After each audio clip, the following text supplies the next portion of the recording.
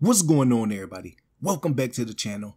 In today's video, we're going to go over the best investments to help you make millions and millions of stubs. If you're new to the channel, drop a like on the video, hit that red subscribe button, and make sure your notifications is on. Shout out to the MVPs and the MVP elites. Let's get into today's video. If you're looking for great gaming services, head on over to AHMLB and make sure you use code Phat for 5% off your order. So first we're going to go over investments that can help you generate lots and lots of stubs over the next few days. So we have Andrew Benin Tendi, 77 overall, playing up to an 80 overall, and he's only 100 to 101 stubs. So this is a win-win situation. 101 stubs, you can guarantee to make at least 150 to 200 stub profit just by buying them very cheap and then reselling them for the 444 to 450 range. Or if he gets the upgrade, you will be looking at 850 to 900 stub profit on every single investment. Now, over the past seven to eight games, he has 12 hits, three home runs, and 13 RBIs. The way he's been hitting over the past seven to eight games, if he can keep that up over the next two games, he should be able to get that plus three, get up to a goal, and that would make you a lot of stubs. If you get 20 to 25 of these, that would be an easy 25 thousand stubs that you would have been made on this one single investment. All you putting is about eight to nine thousand in, and you're gonna be making about a fourteen to fifteen thousand profit. The next investment is Austin Hays, center fielder, 79 overall. Right now you can get him for 331 stubs.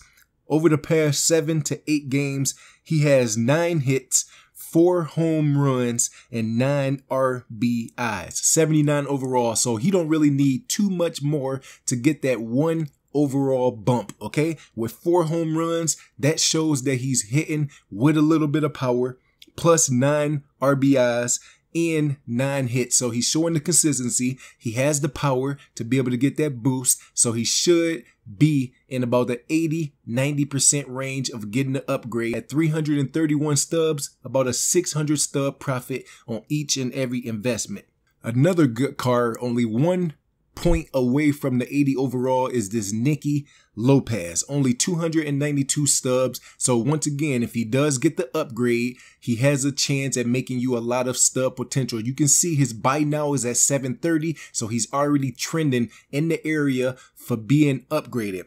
But Nicky Lopez over the past seven to eight games has 14 hits with a home run and four RBI. So he's not hitting with the most power but 14 hits, that's two hits per game. And then he has four RBIs. So he's a switch hitter showing a lot of consistency at 292 stubs. Even if you was to buy this card for 290, 292 stubs and then resell him, you are still making about 350 to 400 stubs each and every time. The more investments you get with this card, if he does get the plus one, which I think he will, you will be walking away with about a 600 stub profit on each and every investment. If you have 30, 40, or 50 of them, that's an easy 40 or 50 thousand stubs. Okay. The more you have, the more stubs you will be able to make, but you can't lose with these investments no matter what. Drop a like on the video if y'all enjoyed this. So if you look at my active orders right now, we have this